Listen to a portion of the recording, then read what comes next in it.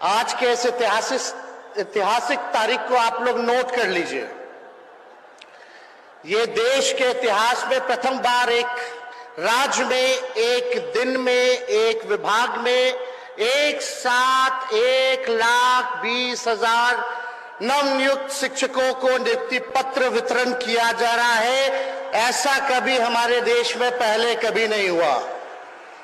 और जो खुशी आप लोगों के चेहरे पर है जो उत्साह आप लोगों में दिख रहा है, हम बड़े दिन से इंतज़ार में थे कि ये चेहरा पर खुशी हमारे नौजवानों के दिखे, इन सभी बेरोजगार नौजवानों को रोज़गार मिले।